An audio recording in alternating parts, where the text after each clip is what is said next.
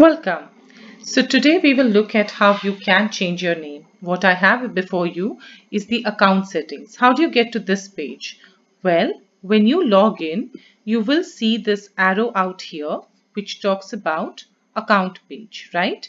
There is something called profile. Profile basically says what you have added about you and there is something called account. So account settings are what you are supposed to click in order to get to this page. It's called account settings. Now there are certain things that you can't change. For instance, the username. The username has to be unique and this is for the platform to recognize. This is not the name that goes on your certificate. What goes on your certificate is this name. So if here you have added anything else, you can change this to whatever else that you need it to be. So for instance, the first name of this site is about uh, demo and 04 right?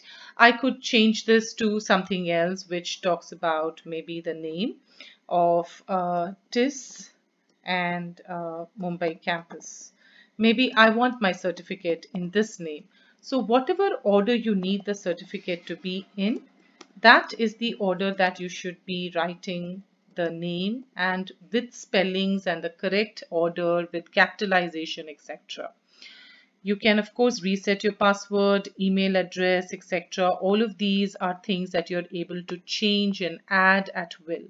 The only thing you will not be able to change is the username which is not going to be on your certificate. Please go and change your full name to whatever you need on your certificate and add other details as you deem fit.